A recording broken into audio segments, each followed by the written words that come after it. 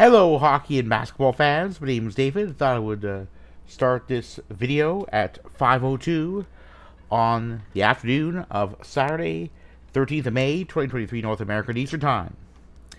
So yes, the Leafs are out of uh, Stanley Cup playoffs, having won an opening round series for the first time since 2004, but having still failed to reach a conference final for the first time since 2002. Get to that in a moment. So, very interesting, um, very interesting segment of SportsCentre, um, and it is, uh, which is this. Have we witnessed last chance for this group in Toronto? Well, referring to four of uh, Auston Matthews, John Tavares, Mitch Marner, and William Nylander. Jeff O'Neill goes by O-Dog in TSN circles, and also a co-host of of Overdrive 1050, the late afternoon weekday show on Toronto radio station TSN 1050, claimed that indeed last night's game between Leafs and Panthers had been the last time that that core would be together on the Toronto team. In response, I'd say that I hope so. The question will be what the board of MLSE, the ownership group of the Leafs, will do. And I hope it does, because because Kyle Dubas, through how many seasons is it? Through this many seasons, has overseen the win of this many series. President Shanahan was around for this many more seasons than Dubas, but didn't win anything. Bar was a rebuild, but still, the fact that this has happened, this rebuild that had begun after starting with the 20, 2014 offseason has brought limited playoff success. That's right, limited. And yes, the Leafs did draft Auston Matthews first overall. But then again, so the Raptors, 2006 or whatever, uh, via Andrea Bargnani, an Italian basketball player, hoping he could spark the Raptors to life. But again, the Raps had no playoff success during Bargnani's time with the team. And he was drafted first overall. Didn't even average, I don't think, 20 points per game. And that that was a big fail by the Raptors front office. So hopefully, I mean the fa- the way which the Leafs failed, it's been you know it's been you know under Shanahan nine seasons of this nonsense, well seven in a row, of play of you know repeated qualification for the postseason and one playoff series win. Two you know only you know well and only this many games won beyond any opening round series. The core four didn't get it done overall. Nylander scored this many goals. Marner, this many. Matthews and Tavares combined for this many goals. Yes, Tavares has a no movement clause, and that is full blown for however much remains of the contract.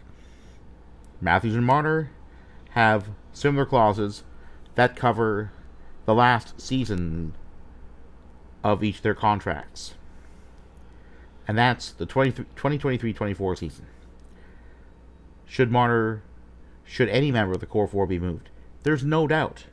The question will be whether these, whether MLSE's board will be smart enough to know that Dubas and Shanahan are part of the problem rather than the solution.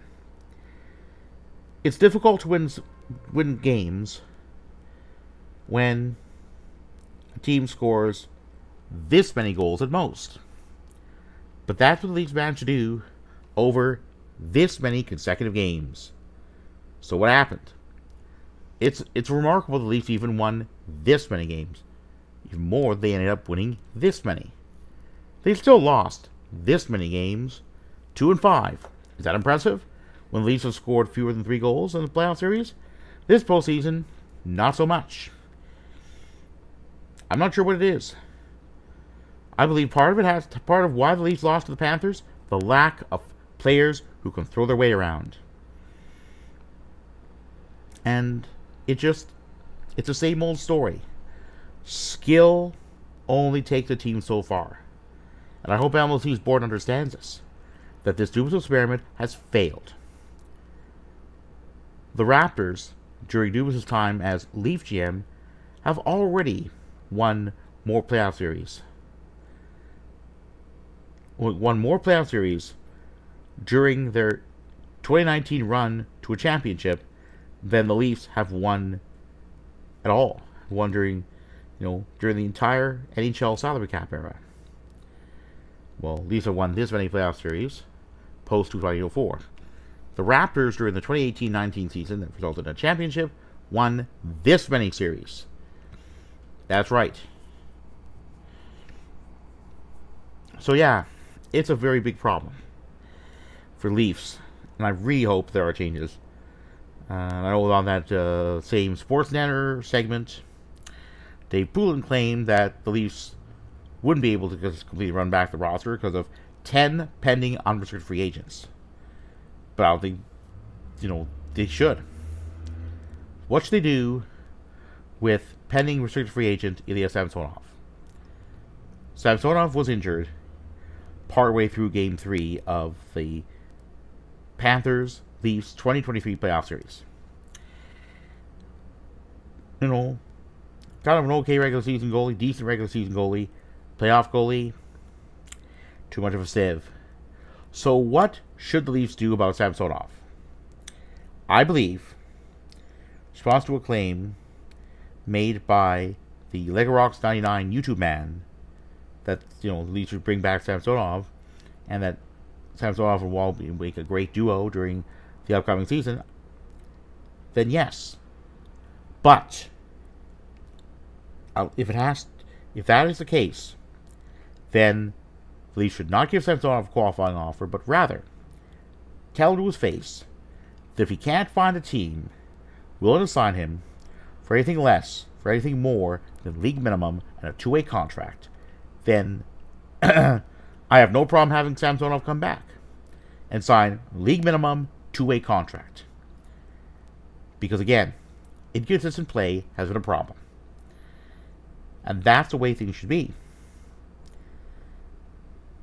And as well, I mean, certainly the Leafs did win their last series. But again, I don't think it was a, you know, I was concerned about the use of Samsonov in Game 3 of the Panthers Leafs 2023 playoff series. Why? Simple. He, you know, games one and two had been a sieve. Too much of a sieve. Too many ugly goals allowed. Though, game three, I was surprised Samsonov stopped all eight shots he'd end up facing. For that collision with Jake McCabe, that ended up, well, Luke Schenn, that ended up, well, pretty much sidelining Samsonov for the remainder of that series. And because the season ended before Samsonov was able to come back, well, Samsonov was out effectively for the rest of the season. For the rest of however long the season ended up lasting. So yes, league minimum, two-way deal. Samsonov doesn't want that. Leafs should just say goodbye. So what about Matthews? If Leafs want to re-sign Matthews, I don't think there's really any compelling reason. Maybe they should sign him for league minimum. I don't think he'll say yes to that, but considering his poor playoff performance, I mean, I would say that absolutely. If he doesn't want league minimum, he's got to go to. Maybe they should get something for him in the next month or so until his no movement clause kicks in and when he can't be moved without his permission. So, yeah. I mean, Nylander, I mean, I mean, there's hope for Nylander, but again, who knows? Depends what he wants. He did score two goals. I mean, I wish he'd scored a little, you know, quite a few more, but he did his part more than the other of the core four. So maybe there's a reason to bring Nylander back for well, not much more than his current cap hit. So we'll see what happens. Talking a lot about the Leafs, so I'm gonna go into now.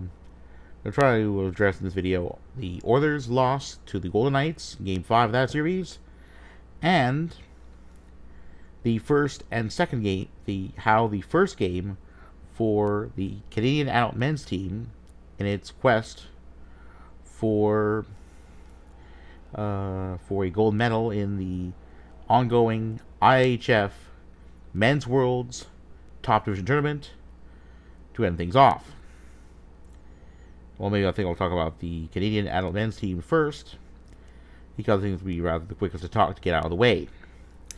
So yeah, very interesting games. Uh, Friday Eastern Time, six 0 win over its Latvian counterpart. Quite a few Canucks on, quite a few members of the Vancouver Canucks are under contract on both teams. You know, Conor Garland, one of them. Ethan Bear on the, you know, the Canadian side. On the Latvian side, Artur Silovs under contract to the NHL Canucks via the AHL's Abbotsford-based Canucks squad. So yeah, there's a, a match. If only they weren't named the same. I mean, hey, it's not really common for those teams, for the NHL and NHL affiliates to be named the same. Well, other than the case of the Minnesota Wild and the Iowa Wild. But I don't often talk about the, you know, about the age, you know, about the Minnesota Wild's AHL affiliate. Because I don't really need to. So yes, so Canadian team, very important win against Swiss counterpart. The Slovene men's team was shut out earlier on Saturday, seven 0 And it was from, well, keep in mind that the last tournament, uh, the Slovene team ended up in Group A Division One, ending up in a top two spot, and thus securing promotion to the top division. So it may not be a surprise if Slovenia goes, if the Slovene team goes back down to Division One for the 2024 tournament. Doesn't matter. I'm not rooting for the Slovene team to, you know, to, to stay in.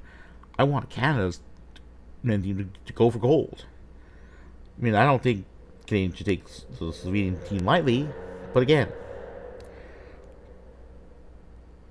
as long as the Canadian team does its part, it's prepared, it gets traffic in front of the goaltender. Whichever goalie the Slovene count, Slovene team uses, and you know it should be you know you know you know the Canadian team should win that game, and I mean hopefully it won't be like the Leafs where like oh it's like oh, a inferior opponent and we have this in the bag before we actually do. Big mistake. I mean, I'm sure the Slovene team will want to come back. So better be ready. Thinking, oh, easy to no problem. We'll see about that. The Canadian team has to earn that win. But again, maybe it will do that. I mean, I can understand the so because, yes, the under 18 men's team was blown out by its Swedish counterpart 8 0 to start off that relevant tournament and well, embarrassed again by its Swedish counterparts. Will be seven two in a in a semifinal. End up having to go for bronze and barely got by. I believe Slovak team in overtime. Yeah, living on the margins, you know, playing on the margins, scraping by. there are those games, but yeah, no the under 18 men's world tournament for, for Canada for the for Hockey Canada's team was a mixed bag. I go into the tournament, looked like a whole a whole bunch of unfamiliar names. Kind of you know game a little bit familiar. Carson Bjarnason, so minor league goalie. Uh, I don't know, 16, 17, whatever. Had a really not so good game against Sweden. but again, maybe, I mean, maybe next season, you know, for the next under 18 men's world tournament, there'll be some changes. I mean, at least those players who are who will turn 18 this year will not be eligible to play in the next in any future tournament, at least in under 18 one. So yes, definitely looking forward to it. I watched a couple games. Well, part of the you know game between the Norwegian and Kazakh adult men's teams. Nor- Norway Norwegian one had had a, a two goal lead, and ended up losing in a shootout. Yeah, and those teams, you know, one of those teams may very well be relegated. Who knows? And then there was another one, you know, a couple of other games uh, between the uh, oh, between the Latvian and Slovak teams. Saw on TSN Plus. I'm not sure why that was, because you know, like on two TSN channels, there was like, some you know race being broadcast. I mean, I don't know why that was. I mean, could they have just had one more, like, you know, mainstream TSN channel for that? I don't know It's kind of stupid, but it is what it is. I ended up watching, well, for starters, you know, another game between the Finnish and German teams. German uh, adult men's teams, ice hockey, and yes, I think it's important. There's no doubt whatsoever that, yes, the uh, you know, that was a very entertaining game to watch came down the wire, and we was like a one goal win for the Finland team. And uh, you know, Mikko Rantanen for the Avs had to be a part of that team, and got a little bit of gone had to get a little bit used to the international game again, as opposed to the you know NHL game. What could you do? It's it's just been. I mean, but he wasn't available last for the last tournament, the last IIHF Men's World Tournament because well, the Avs end up going to a cup final and winning. Well, even that, even the Avs had gone not to a cup, had, even the Avs had lost the cup final. I mean, still is. I mean, we'll have to see if the experience of Rantanen will help the his homeland's Outman's team end up going for gold. We'll have to see though. But again, Germany dropped 0-2. Both losses have come regulation. Very close game between the German Swedish counterparts. The German Swedish teams end up with Sweden ending up with a 1 0 victory in regulation.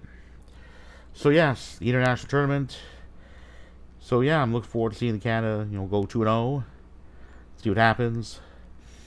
It's not going to be an easy ride, but hey, if they can, you know, get some points, finish up in the top two, be nice. See what happens. So now I'm going to go on to the Oilers, and that game, know, that game last night, the Golden Knights yeah. I go back to a video posted by the Oilers Fanatic YouTube man. The first time I believe was Patrick. I watched that uh, that uh, post game summary, post game video summary, and I'd say, yep, I agree with him on what happened with the Oilers. You know, the, the first period appeared to be strong, two one lead, two power play goals. Things were looking good. And then there's that something that was missing in the second period when the Golden Knights went to town. A holding call by Phil Broberg. And then, not even a minute after that, a high sticking penalty for two minutes by T.S. Janmark.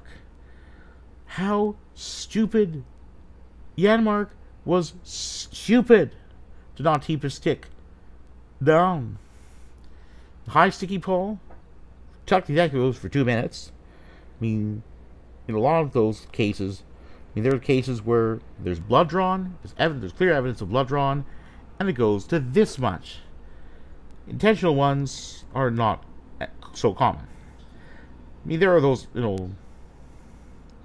I mean, what I can think of is know, 2021 stick swinging incident involving then Canucks D-man Tucker Poolman who, in a November 2021 game at, at Ball Arena between the Canucks and Avs, Truman did this to then to Kiefer Sherwood, then under contract to the Avs via the Colorado Eagles of the AHL.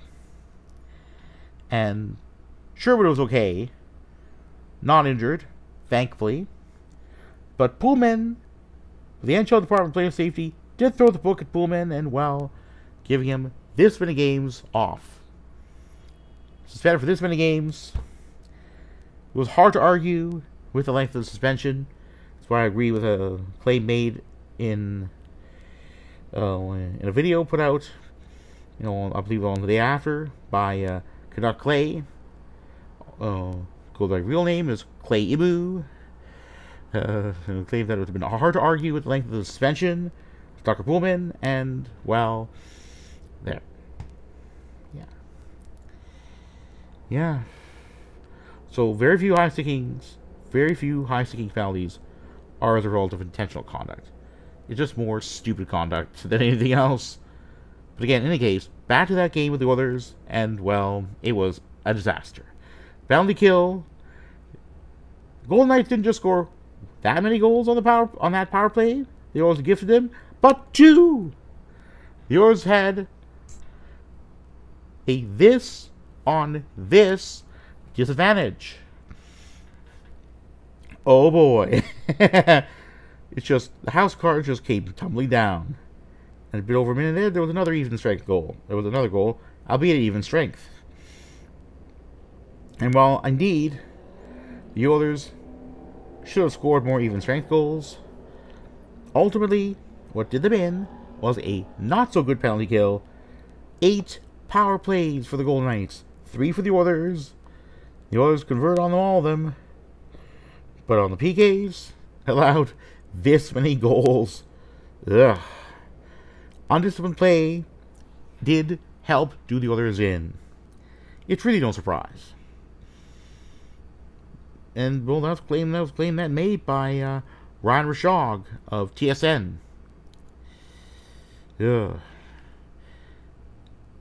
Again, I hope that the Oilers will win the next this many games in a row. Because that's what they have left. The odd number games in the series, 1, 3, and 5, the Oilers haven't done so well.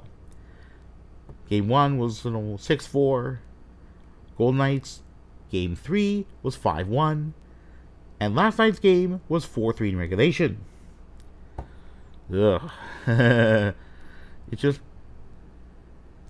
I also want to mention Stuart Skinner, the rookie goalie being was pulled for a third straight time for a third game during the Oilers postseason run. There are questions as to whether uh, head coach Jay Woodcroft should put Jack Campbell, former member of the Leafs, in place to start that uh, weekend game, which will be at Rogers Place in Edmonton, also home of the Western Hockey League's Edmonton Oil Kings. So I don't know. It just, I mean, but I hope that Woodcroft will give Skinner a short leash. I mean, Skinner crafts a bed. Out he goes. And yeah, I counted this many ugly goals Skinner allowed. So again, but by no means was it the fault was last night's loss of Golden Knights only Skinner's fault. Poor defense in front of him, including on the penalty kill, helped do the Oilers in. It's hard. It's hard to get momentum going when it's killing penalties. 16 minutes worth of penalties. Or 18 minutes, excuse me. Yeah. Because one of those was a four minute. It was taken by Broberg. High sticking. Draw blood. Psh. Yeah. But again, it's good that the Oilers took advantage of their own power plays.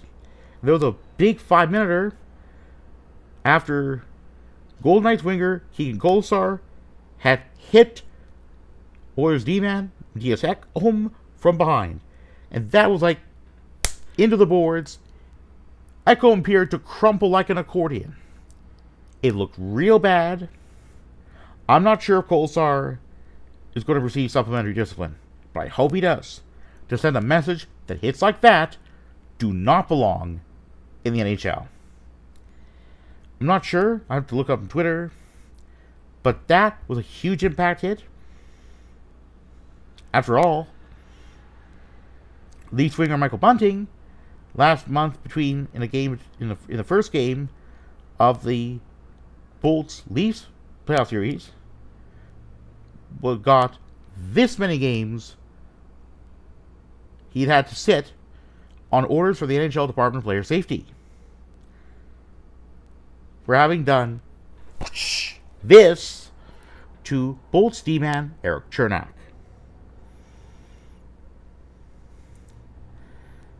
Yeah. So I think it's Michael Bunting suspension territory. Well, pretty close for uh, for Kolesar. I don't know if Ekholm is going to be back. Well, well, he did return, so that's a very good sign. Cernak didn't, but also has been, you know, supposedly Bunting's history of taking penalties, of getting in the, retinal of of not having been on the good side, of of angel on officials, and on one of the episodes of the daytime Real Kyper and Bourne show, co-host Justin Bourne claimed that Bunts had acted too often had, had acted so often like quote a donkey that unquote that you know that basically that had been you know on you know the NHL player safety department had enough with Bunts and needed to send a message. What Bourne claimed to Bourne claimed to have been a so-called quote donkey tax unquote. So yes, the Oilers did score on that subsequent power play uh, of the uh, hit by Kolesar that had resulted in Kolesar's ejection via a game misconduct. But again, the Oilers. I wish the Oilers had gotten another goal on that on that PP. It wasn't until well over three minutes in, like what are they doing?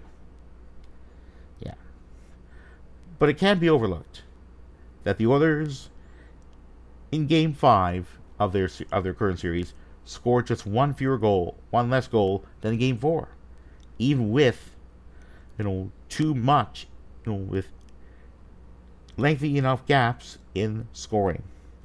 First period, scored by Zach Hyman, and then the next one would only occur in the third. Ugh, it's too long a gap, and that gap, the Golden Knights exploited to their exploited to their advantage.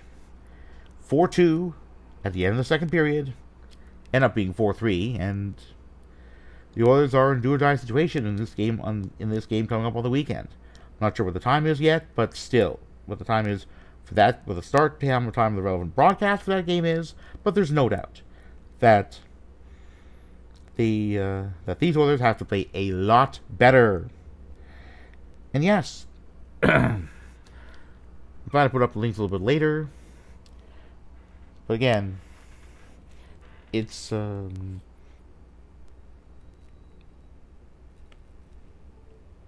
yeah. There's no doubt that these Oilers have to play a lot better. I mean, I definitely look forward to rooting for Canada's adult men's ice hockey team. Uh, regardless of what happens with the Oilers, but the Leafs are out. Uh, Leafs are Leafs off season. It's just hours old, but the others may follow suit on the weekend if they don't find a way to bounce back from this loss. But it's just been that way. The Oilers have not won two games in a row. But they also have to keep, keep in mind that yes, the um, you know that winning, you know, that also the Oilers lost the the first game of that series, and thus we're already on the back foot. So they've not won consecutive games, and that loss in game one has hurt them so far. They're down down three games to two. Lose either of the next two games, and and we'll have to say goodbye to the Oilers' current season.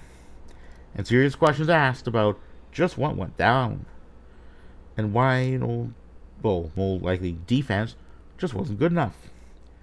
But that's it for that time. It's too early to say the Oilers are going to lose the series, but it's also too early to say whether the Oilers are going to win.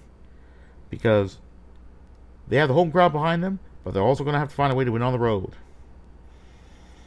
And yes, late Elvis Presley, referring to his famous song Viva Las Vegas, probably would have been dancing around celebration if he were alive. But in response, was saying that me that what happens in Vegas stays there. Well, I hope the Oilers can keep their bad habits over there, over in Vegas and then dump them in the garbage when they return. Because if the Oilers win their sixth game, the sixth game in that series, the series will shift back to T-Mobile Arena. On the bright side, the Oilers have won a game already at that arena, so that game seven could go either way. But I'm gonna say I'm gonna uh, wrap this up and say if anyone was uh, if you liked the video, you know, always click the like button. It's optional to do so though. If you want to subscribe to my channel, you're free to do so.